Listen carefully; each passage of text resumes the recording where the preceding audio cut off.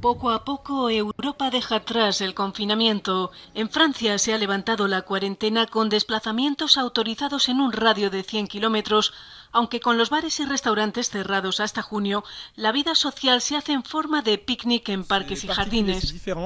Es diferente, pero no es complicado y al final te acostumbras a mantener las distancias. Estamos contentos de ver otra vez a los amigos. Con bares y restaurantes cerrados, los franceses buscan un plan B para verse. Unos se reúnen en las casas y otros se ven en los parques que están abiertos aquí en Lyon. Muchos vienen por la tarde a los muelles del Saona y casi nadie lleva mascarilla. Expresan su gran alivio tras dos meses de confinamiento, a pesar de que sigue habiendo muchas restricciones están prohibidas las reuniones de más de 10 personas.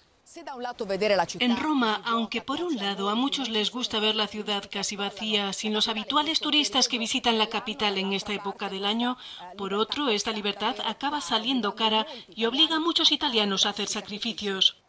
Me siento más libre que antes, pero si la libertad significa deambular por las calles del centro y encontrarse después en esta desolación, no me parece tanta libertad.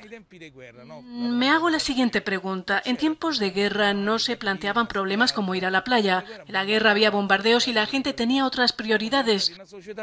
Nos hemos convertido en una sociedad que no quiere renunciar a nada. Y además llevaban mascarillas cuando no eran obligatorias y ahora yo sigo viéndolo así. La juventud es la que yo veo que no es consciente realmente de lo que, de lo que ha pasado aquí en esta pandemia y que tenemos todavía encima. Si vienen menos de aquí, los de aquí vamos a otras horas. Pero ¿qué vamos a hacer? Es público y nos tenemos que aguantar. No tiene, arriba no tienen mar, pues tienen que bajar al mar. Y tenemos que repartir entre todos.